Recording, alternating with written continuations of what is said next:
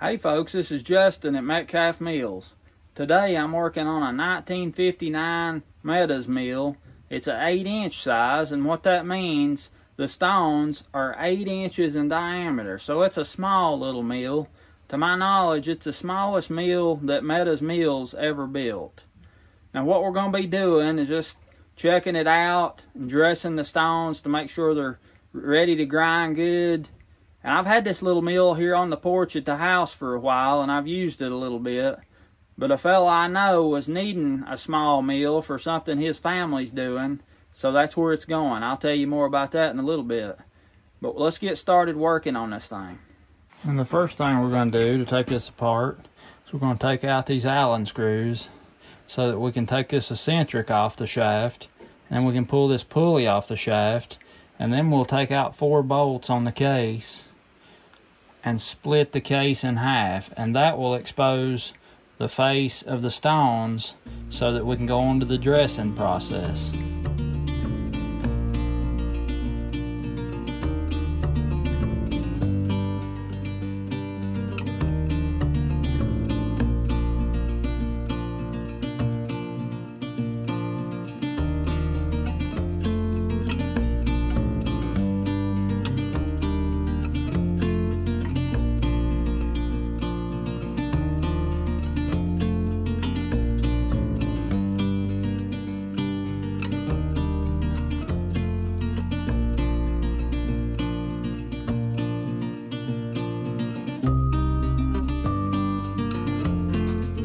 Case is splitting open right here. Cracks forming there where it's separating. Uh, traditionally, millstones lay flat. They lay one flat on top of the other. Bedstones on the bottom, runner stones on the top. But about 1900 or 1902, right around in there, W.C. Meadows invented these mills with the stones stand vertical, side by side. You don't have to take the hopper and the shoe assembly off, but I'm going to just to make things easier. Just take a few minutes to take it off and it'll make life a lot easier. Go dressing these stones, taking everything apart and putting it back together. Make it a lot easier.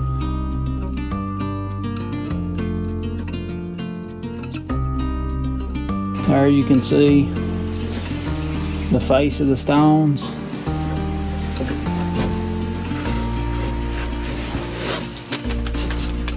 The face of the stones, probably can't, you might be able to see it in the video, but if you can tell how smooth and slick that is, especially right there, it's really smooth and slick.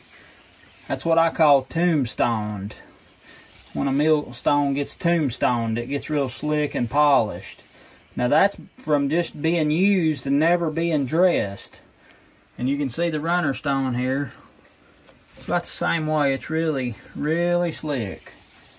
So what I'm going to do, the grooves look good. You want the grooves to be about 3 16ths or a quarter here in the eye of the millstone to taper out to nothing on the outside, but these are dressed almost they're dressed out a little deep on the outside edge. But what I'll do is I'll come in here with a pick or bush hammer and I'll rough up. These are called the lands the flat areas are called the lands these are called the furrows. The furrows and the lands so the furrows in the center where the grain comes in you can see this little auger spring right here, when that grain falls down, this carries it up into the millstones. As this shaft is turning, it grabs the grain when it falls down and carries it up into the millstones. And right here at the eye of the millstone, that's where the grinding process starts. That's where it starts crushing that grain. And then as the grain gets crushed, it starts moving out through the furrows and the lands start grinding it even finer. So these furrows act like a pair of scissors. You know how scissors come together and scissors cross each other. They cross, the blades cross at the shear point. That's exactly what happens in millstones. They shear the grain. That's why the quality is so much better than any kind of steel burr or anything. After it's sheared into a small enough size, the lands are really rough, like really coarse sandpaper. They grind the grain on down to the fine consistency that you've got the meal set at. clean all the dust off.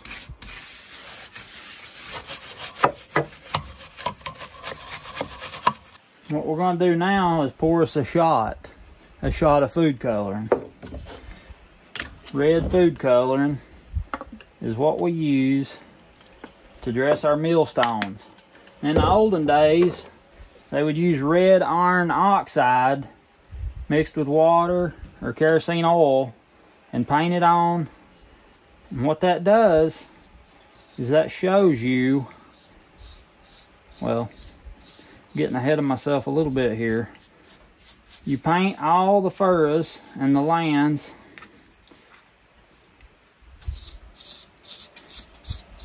with red food coloring.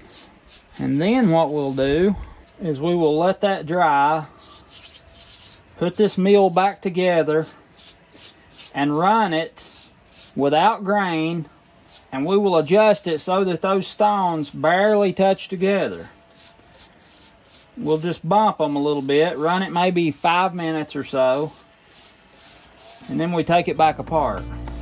All right, we'll let our food coloring dry, we're gonna put it back together.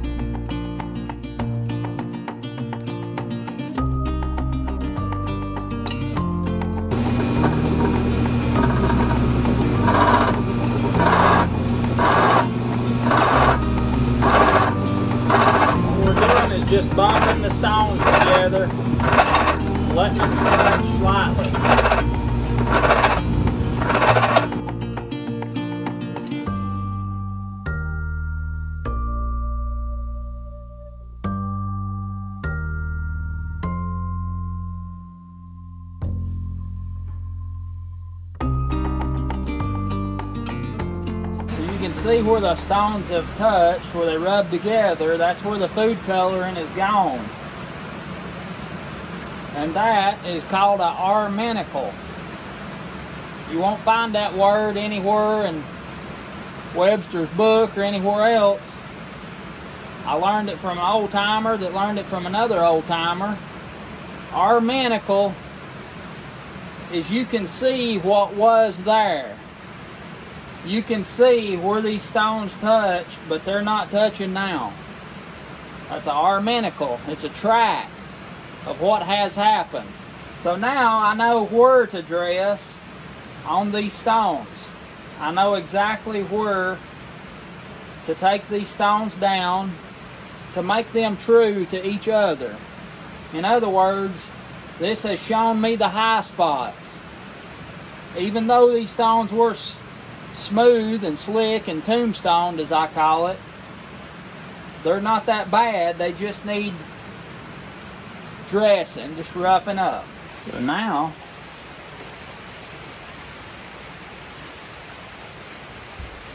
get our little stone down here and get ready to dress it. Mostly I use a bush hammer or a mill pick. This is a bush hammer. It's a 25 point carbide tipped hammer and it works really good on millstones. I can see where the stones have touched is really slick and no, no food color in there whatsoever. Those are the spots that I want to hit during this process.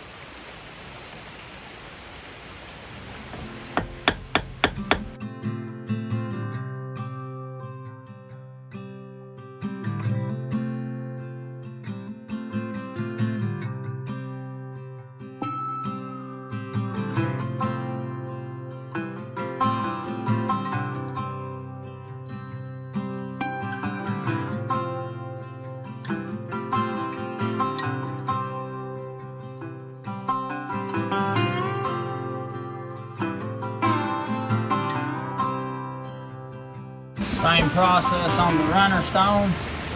We just get into a little different position. Thing about dressing millstones, you want to try to tap every time with the exact same amount of pressure.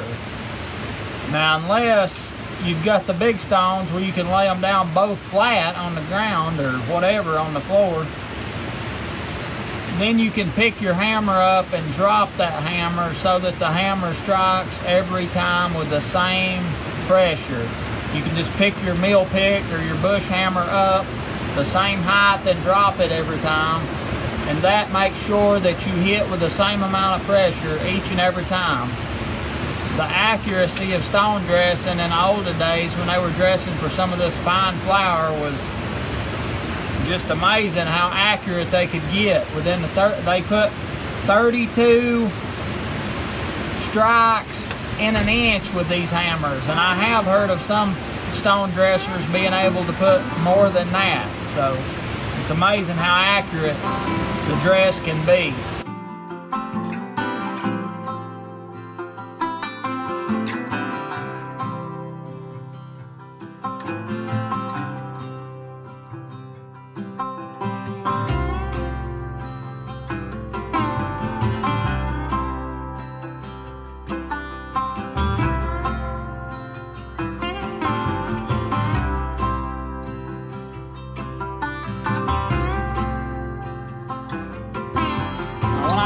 About in olden days, instead of food color and they used red iron oxide, the application was different on that because those stones were maybe four or five foot in diameter. They were huge. So they had what they call a proof staff and a paint staff. The proof staff, I'll show you in a later video, it was made out of iron and it was a perfectly true flat surface. And the paint staff was made out of wood and it was a perfectly true flat surface. So the proof staff was used to proof the paint staff to make sure that wooden surface was perfectly flat. And they did that by painting the proof staff, putting the wooden paint staff onto the proof staff, same concept. Pull the wood off of the proof staff and they can see if there were any high spots that needed to be taken down on the paint staff. Then, if the paint staff was true, they would paint it with red iron oxide and they would lay the paint staff down. Give you an example. So if this is the paint staff, a perfectly true surface, which this is not, but just will tell you how it works, they would paint the red iron oxide on the paint staff, lay the paint staff down on the stones, and turn it around. And what that did was it transferred the paint on the perfectly smooth surface onto the high spots on the millstone. So when they turned it, those high spots got marked with paint so here we're, we're, we're rubbing the high spots together to take the paint off. It's the opposite way of doing the same thing. Now we're just to let those dry. We'll come back, run it again, do the same thing over.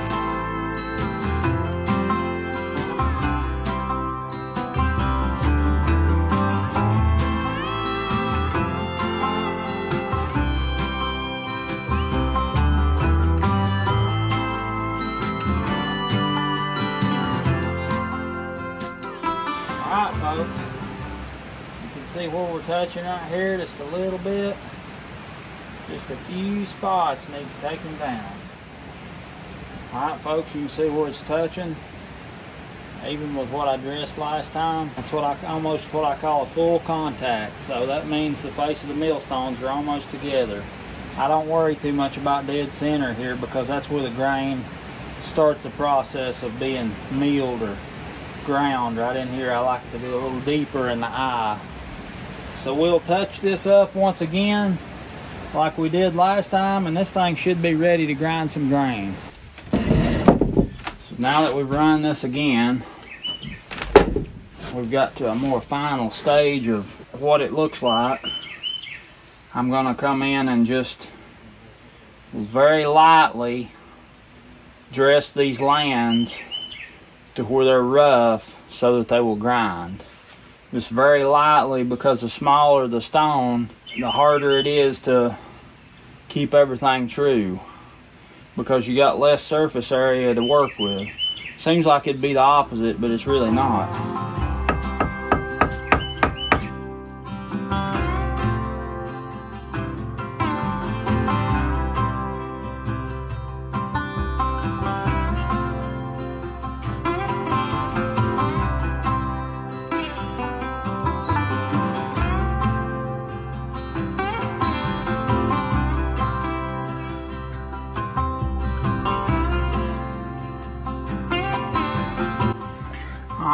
Can see what we've done on this dress. Just lightly hit the high spots. Now I'm going to just clean out around the eye. Sometimes the stone wears down and it starts closing this gap and that's where the millstone receives the grain. When the grain comes through here with the little auger pushing it, this is where the millstone receives the grain, right around this eye. So I just want to deepen that all the way around to help it accept that grain better.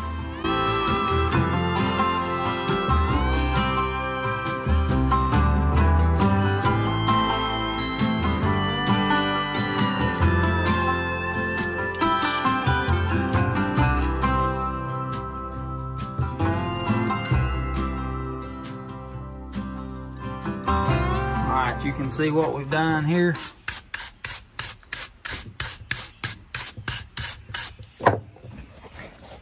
You can see the dress on the lands.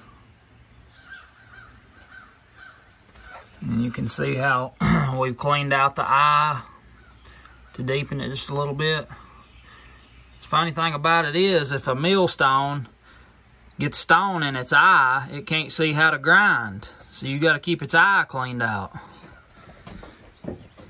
Here you can see that dress. Just the high spots.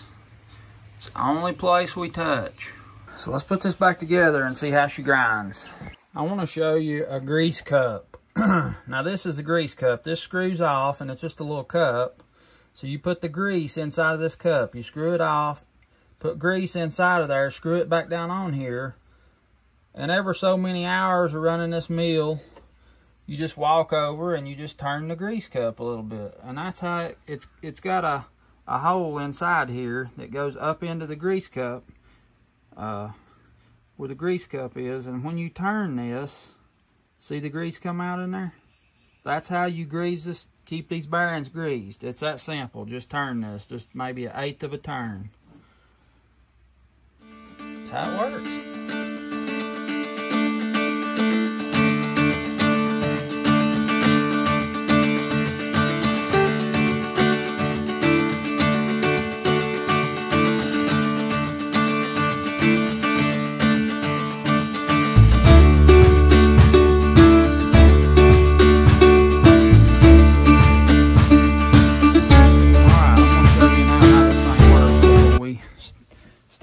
It so you can kind of understand. This is the hopper. It's where you put your grain in. Down here, you have an adjustment screw. This, when you turn this nut, it presses down on this arm that goes over to this feed cup right here. So when you turn this, it raises the feed cup off of the shoe so that the grain can come out. Okay. This shoe is continually shaking. And that's by way of this arm that comes over and it hinges here and it goes over and down to this eccentric. Now this is an offset machined collar that goes on the round shaft that's turning and the bolt is offset on the end so that when this turns, eccentric gives it a shake. See how that works? Alright, So we'll turn this mill on,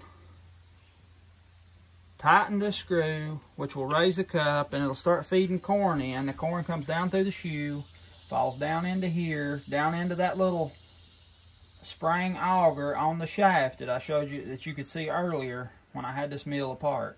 The shaft turning pulls the grain into the eye of the millstones. Okay. This is your adjustment. You break this loose. That allows you to turn this smaller knob and what that does, it moves the shaft in and out with the runner stone to get those millstones closer together or farther apart. That's how you adjust if you want to grind like fine flour or you want to grind something coarse like cornmeal or even crack corn for chicken feed. That's how you do it. Right, down here, this has got the drawer system on it. So you pull this drawer out, your product comes out of the millstones right here. So that is looking up into the millstones. And the, and the product just falls down into this box. And the drawer is actually a scoop. So when you slide the drawer in, it scoops up and while you're grinding, you can pull it out, take this out and dump your product out somewhere. And you put your drawer back in, it scoops up what has came down while you had the drawer out. So let's fire this thing up and see how she grinds. Now, before I dress the stones, it took quite a while to grind just a little bit of corn. So there's about a, a quarter hopper, maybe a third of a hopper full of corn. Turn this baby on and see how long it takes to mill this corn.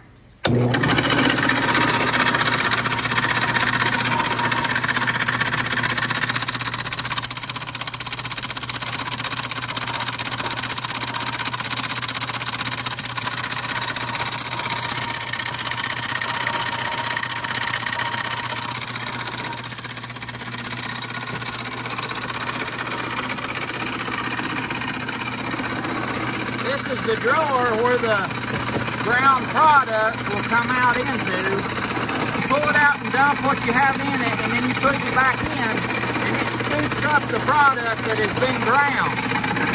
You can see here what we're grinding is pretty fine. A lot of grits with some, a little bit of cornmeal in there. We'll tighten this up, Nathan.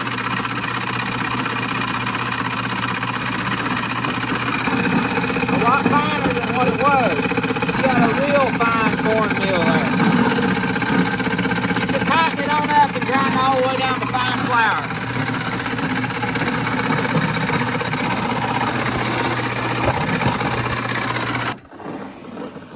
Look at there. Fine cornmeal. Really nice you've got right up under here, you can see the stones up there. So as the product's ground, it just falls out. Right into this little drawer cabinet here. So you pull this out, dump your product out when it gets enough, slide it back in, and it scoops up as it slides back in.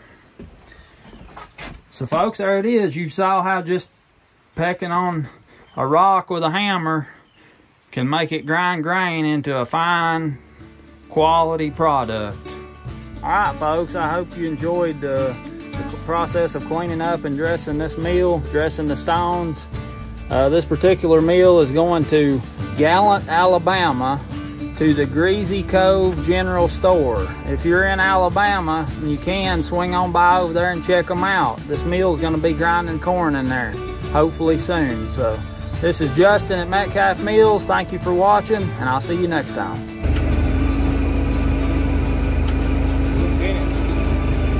Grist mill.